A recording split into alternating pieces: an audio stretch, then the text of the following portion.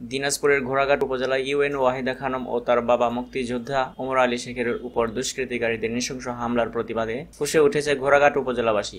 ঘটনাটি চুরি বলে ভিন্ন খাতে প্রবাহিত করার প্রতিবাদে রোববার সকাল থেকে দুপুর পর্যন্ত ঘোড়াঘাট উপজেলা বিভিন্ন শিক্ষা প্রতিষ্ঠানের শিক্ষক, শিক্ষার্থী, অফিসার্স ক্লাব সহ সুশীল সমাজ মানববন্ধন, বিক্ষোভ সমাবেশ এবং সংবাদ সম্মেলনের আয়োজন করে।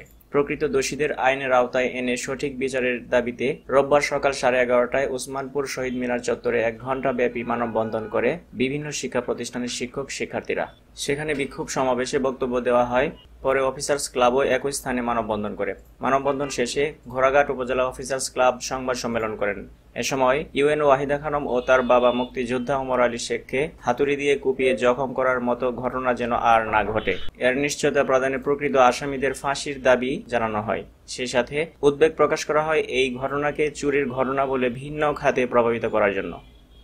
রাতের আধারে তার বাসায় গিয়ে, সরকারি বাসভবনে গিয়ে নৃশংসভাবে তার উপর হামলা করা হয়েছে। এতে তিনি গুরুতর অসুস্থ।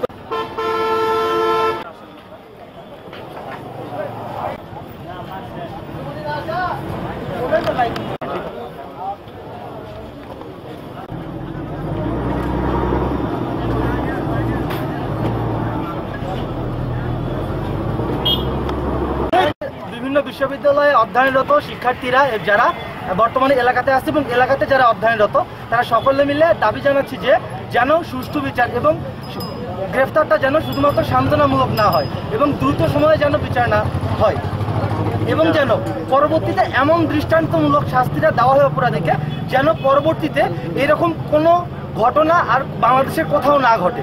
যেন প্রথমে আমার পরিচয় দিয়ে দেয় আমি হচ্ছে ঢাকা ইউনিভার্সিটি স্টুডেন্ট। আমাদের সম্প্রতি আমাদের উপজেলা নির্বাহী অফিসার তার উপর বর্বরিচিত হামলা হয়েছে। এই হামলার দাবিতে আমাদের আজকের এই মানববন্ধন। এই মানববন্ধনে আমরা অপরাধীদের দৃষ্টান্তমূলক শাস্তি চাই এবং দেখা যাচ্ছে যে অনেক মাদক মাদকাসক্ত এবং মাদক সেবী এখানে ঘোড়াঘাটে চারণ ক্ষেত্র এবং তাদের কারণেই হচ্ছে। শুধুমাত্র আমরা হ্যাঁ শুধুমাত্র আমরা এই যে অপরাধী যারা হামলাকারী তাদেরকে ধরলেই হবে না, এর পিছনে বিশাল মাস্টার মাইন্ড রয়েছে। এই মাস্টার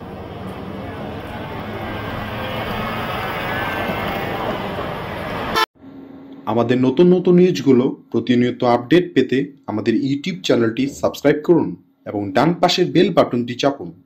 ভালো লেগে থাকলে আপনাদের সোশ্যাল মিডিয়ায় তা শেয়ার করুন। আমাদের সাথে থাকার জন্য ধন্যবাদ।